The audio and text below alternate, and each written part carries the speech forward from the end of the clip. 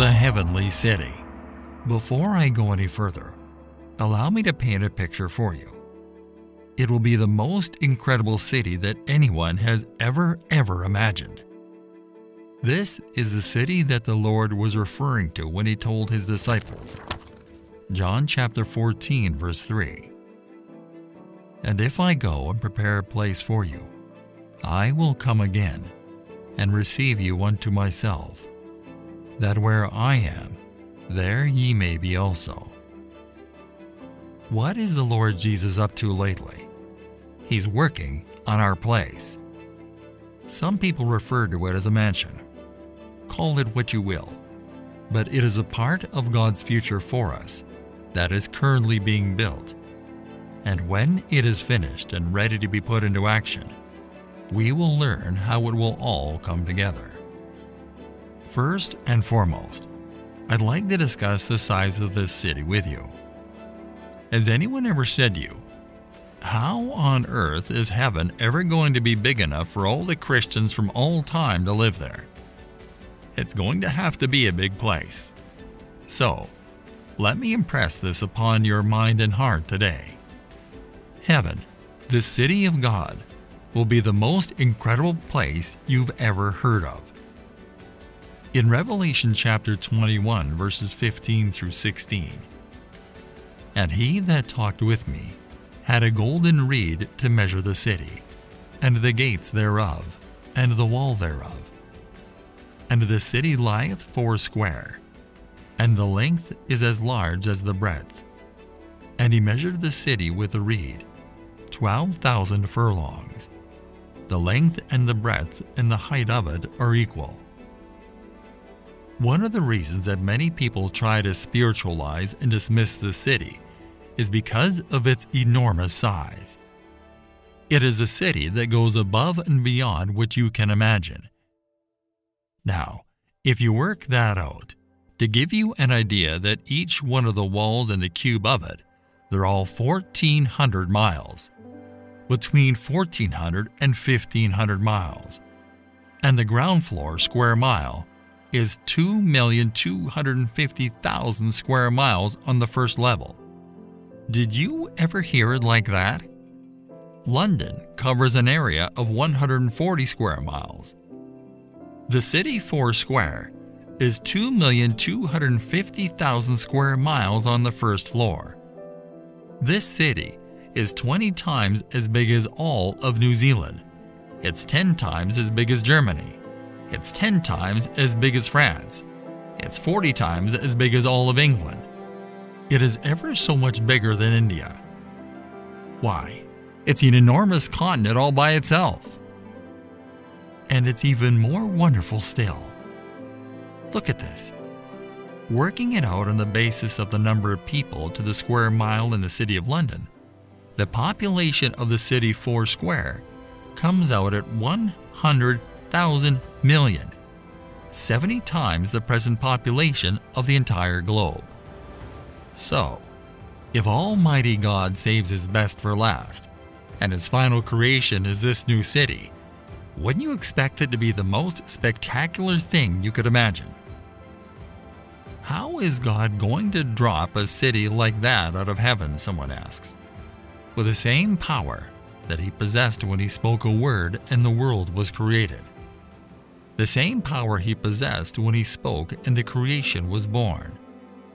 And if he says in his word that he'll do it, he'll do it. So, let's talk about the inside of the city for a moment and I'd like to briefly touch on the things that John tells us in these two chapters. First and foremost, it is a holy city, according to verse 2 of chapter 21. Then I, John, saw the holy city. The chief characteristic of the city into which we will one day move is its holy. It is described as follows in the Wycliffe Bible Commentary A holy city will be one in which no lie will be uttered in 100 million years. No evil word will ever be spoken. No shady business deals will ever be discussed. No unclean picture will ever be seen. No corruption of life will ever be manifest. it will be holy because everyone in it will be holy. You can't get into the holy city unless you are born again and you've gone to heaven. Heaven is the place of the holy city. Not only is it a holy city, but the Bible says it's a place where the gates are made out of pearl. You know, we didn't just make this up. This is not folklore. This is right from the Bible. Notice verse 12 to 21 in Revelation chapter 21. It had a massive and high wall, with 12 large gates, and at the gates were stationed 12 angels, and on the gates the names of the 12 tribes of the sons of Israel were written. On the east side there were three gates, on the north three gates, on the south three gates, and on the west three gates. And the wall of the city had twelve foundation stones, and on them the twelve names of the twelve apostles of the Lamb, Christ. The one who was speaking with me had a gold measuring rod to measure the city and its gates and its wall. The city is laid out as a square, its length being the same as its width. And he measured the city with his rod, 12,000 stadia, about 1,400 miles. Its length and width and height are equal. He measured its wall also, 144 cubits, about 200 feet, according to man's measurements, which are also angelic measurements. The wall was built of jasper, and the city was pure gold, transparent like clear crystal.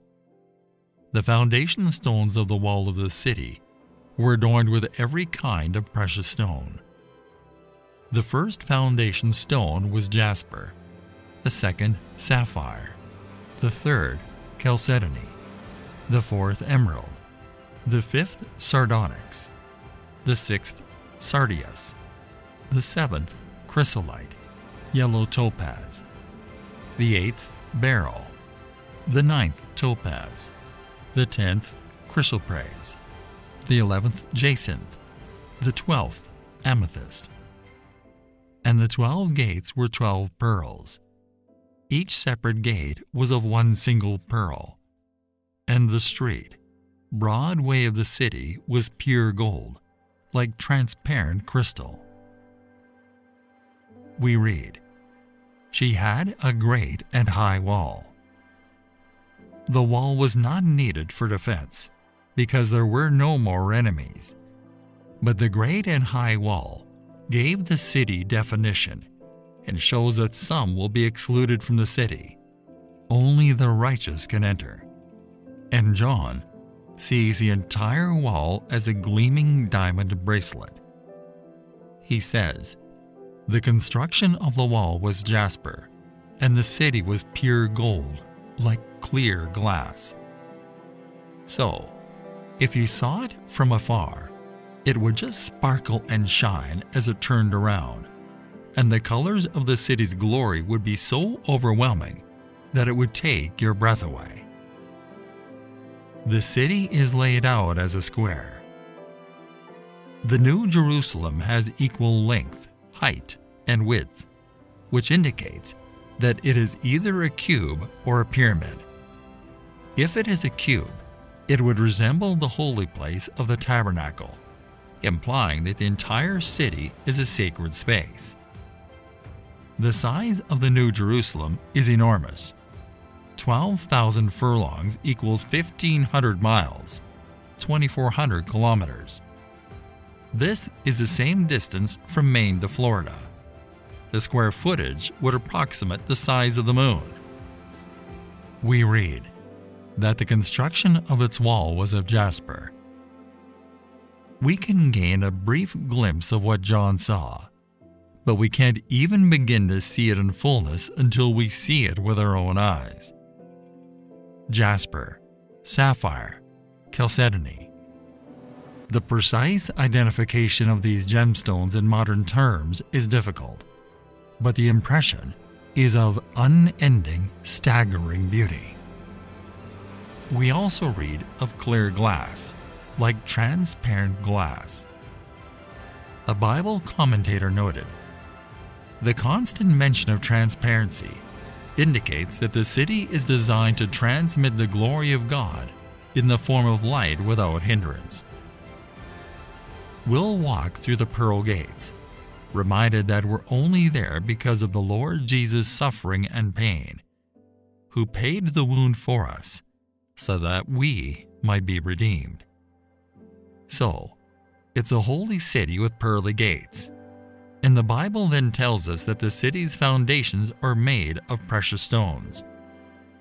The first was jasper, the second sapphire, the third agate. All of these are purely Greek terms that have been translated into English to describe all of the colors and hues of the rainbow that we know today. And the Bible says that this great four square city that descends from heaven will be built upon. And you will see it, a 12 layer foundation, with each layer containing a different beautiful stone such as emeralds and diamonds, as well as all of the other beautiful stones found throughout the universe. Each of the foundations will be unique. As a result, when you see the city's foundation, you'll be overwhelmed by the beauty of all of the gemstone foundations beneath this massive city of God. Rather than being 12 individual foundations separated from each other, they are packed upon each other, and you see them all together in little ripples of gold and precious stones. The Bible then says it's not only a holy city with pearly gates and a foundation of precious stones, but it also has streets of gold. I know that some of you think that's a folklore too. You hear all about the streets of gold in heaven. We're going to walk on streets of gold. It's in all of the old Negro spirituals. It's in all of the old gospel songs, the streets of gold. Are there really streets of gold in heaven? Is it true that there are streets of gold in heaven? Look down at verse 18, then again at verse 21 of chapter 21. And the construction of its wall was of jasper, and the city was pure gold, like clear glass and notice verse 21. The twelve gates were twelve pearls. Each individual gate was of one pearl. And the street of the city was pure gold, like transparent glass. I can't imagine it. Once again, can you imagine seeing the city as you approach it? Observing the city from a distance. The gold on the outside, the precious stones on the foundations, and this lovely sense of light that emanates from the throne of God out of the city. This is the New Jerusalem spoken of in the Bible.